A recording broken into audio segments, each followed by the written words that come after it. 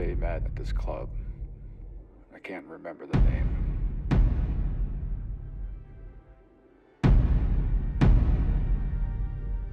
They were in love with each other. They met on a warm and balmy night in mid July. They just couldn't stop staring at one another. Girl was very beautiful, reckless. The guy was shy, but he knew she would come. After hours,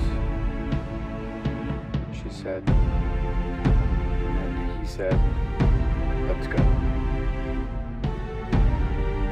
The sun was rising. He had just one cigarette left. Music